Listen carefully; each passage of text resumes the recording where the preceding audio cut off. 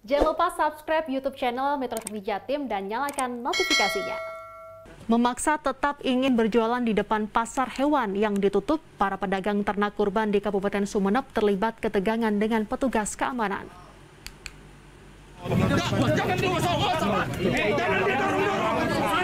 Jangan Ketegangan ini terjadi ketika para pedagang ternak kurban menolak untuk meninggalkan lokasi pasar hewan.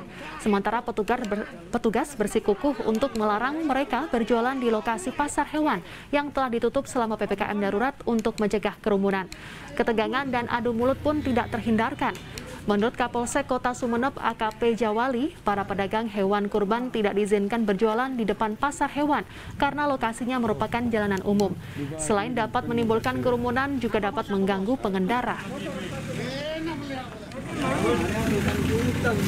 Kami sebelumnya sudah koordinasi dengan pengelola dan minta tolong untuk disampaikan kepada pedagang-pedagang yang di luar untuk sementara waktu selama PPKM darurat ini berlaku pasar di Desa Pemulahan ini